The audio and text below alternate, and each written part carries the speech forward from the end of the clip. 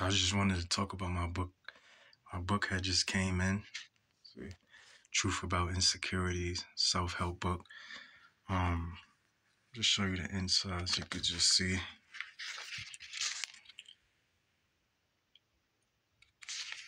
Powerful stuff in there. Um, I'm gonna leave the link in the description. Definitely order a copy on my website. It's only about a few left, but I have more restock coming in a few days. Um, this is a powerful book, and I felt like it was needed for me to do it. I felt like it was, it was just a time um, where I had to actually produce this kind of work.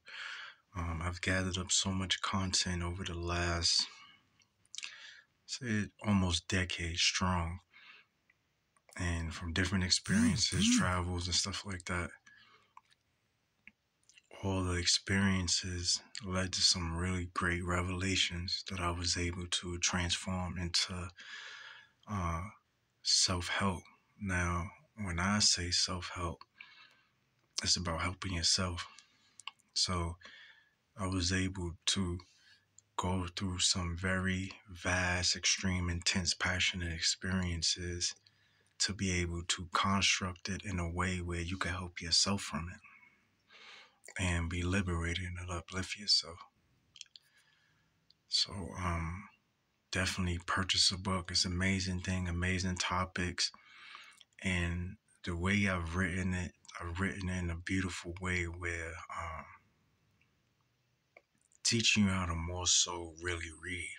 Um, systematically, conditionally, conventionally, traditionally, most only know how to read how they've been taught. So I structure in a way where you will really learn how to read without looking for uh, symbols and signs and say, oh, that meant that, or oh, yeah, this meant that, or no, like you really take your time and really understand it step by step and truly know how to properly read. That's why it's called self help, where you're helping yourself and becoming self educated and being able to understand things on another level of existence from what you've been sold. So this book is powerful and it really goes deep into especially the part with like fears and stuff like that. Um me going through journeys of individuals that was in my life, that was on my path and and and and they haven't controlled fears and things they doing because they might feel failure, because they might feel um, they don't want to be without or have the fear of neglect or those kind of things.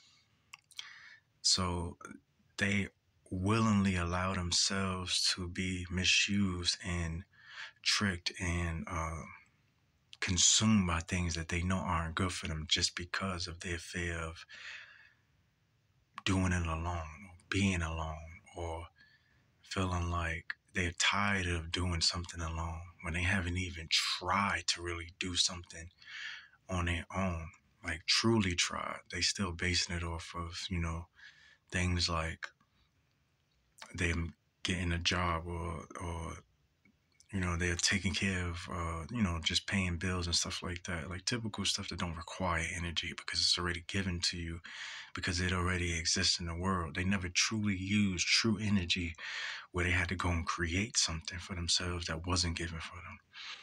So seeing all that and seeing how cushioned they are in these fears you know it helped add into that book. And i'm sure as many others that's gone through the same thing and some some maybe a small amount really want to find a way out.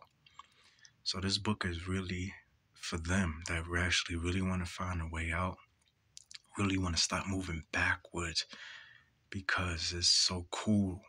You know like moving backwards is so cool so familiar. Oh i know this thing. I know how to deal with it. It's, it's cool to move backwards right? But it's not cool to move backwards